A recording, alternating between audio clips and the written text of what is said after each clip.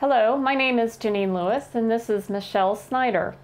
We'd like to share with you information about the Genetic and Rare Diseases Information Center, or GARD, and how it can be a resource for researchers. The GARD Information Center is funded by two parts of the National Institutes of Health, the National Center for Advancing Translational Sciences, Office of Rare Diseases Research, and the National Human Genome Research Institute. The GARD Information Center is staffed by information specialists who have an extensive background in genetic counseling. We provide information and resources about rare or genetic diseases in English or Spanish.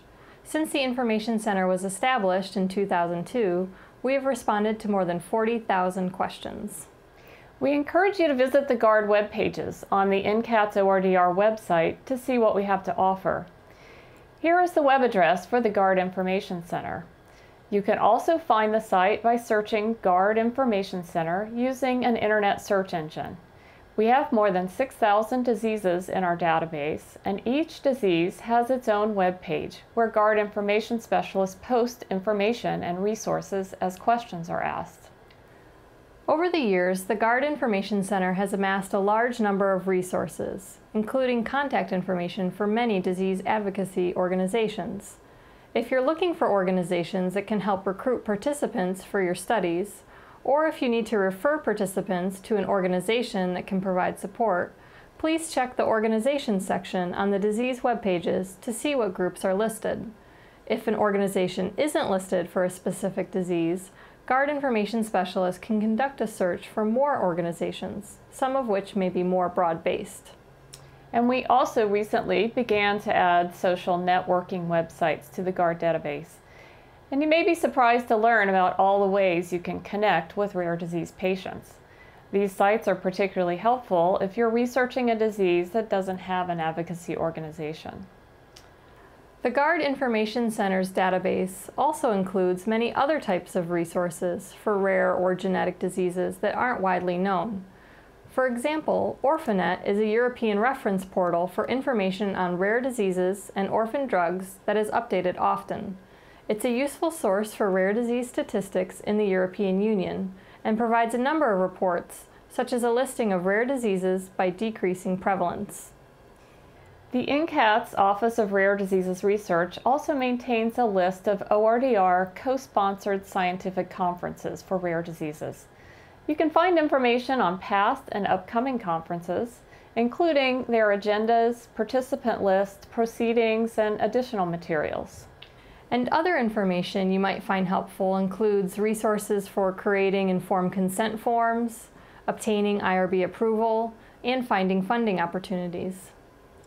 GARD information specialists can also direct you to NIH programs that support rare disease research such as the Rare Diseases Clinical Research Network, or RDCRN, or the Therapeutics for Rare and Neglected Diseases, or TRND, uh, and also the Bridging Interventional Development Gaps program, or BrIDGs.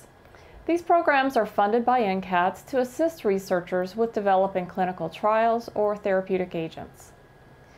Biospecimens are an essential resource for studying the pathogenesis of diseases and for conducting other biomedical research, However, we know it's often difficult to find information about available biospecimens for rare diseases.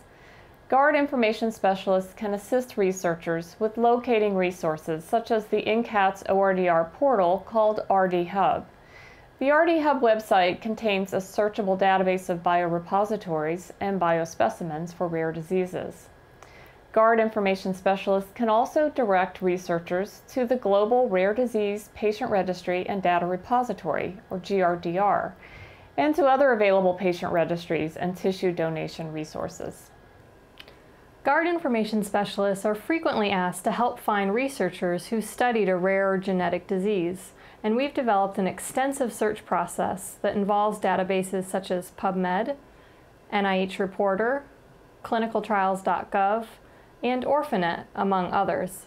If you're looking for other researchers who studied a rare or genetic disease, we can conduct a thorough search for you. GARD information specialists also have extensive experience conducting literature searches for rare disease information that may be useful to answer your specific questions. Please contact us if you can't find the information you need and would like us to help you. Our staff can also provide disease information in lay language in English or Spanish for your research participants. So we hope this gives you an overview of the resources for researchers that the GARD Information Center has to offer. If you have any questions, you can contact the GARD Information Center by phone at 888 205 2311, Monday through Friday from noon until 6 p.m. Eastern Time. You can also write to us by using the contact form on the NCATS ORDR website or email us at gardinfo at nih.gov. We would also welcome your comments or suggestions about the GARD Information Center. Thank you.